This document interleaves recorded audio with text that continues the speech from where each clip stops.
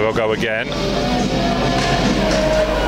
Skippy maybe just a little bit quick off the mark. And bit Oh, here we go. well, we're going to fight then with Paul Pow and McLelland. McLelland's getting the better hook. Uh, punches in here. Took Pow's yes, helmet that's off. a good shot. And it's a good, it's an easy win by McLelland there. Carl Pow has lost his second fight for Warriors. Sean Kippings wanting to go with Luke Watson. Luke doesn't want to go. I would leave it, Skippy. I don't think you, you'll win any plaudits for this one. He's not going to, he doesn't want to go.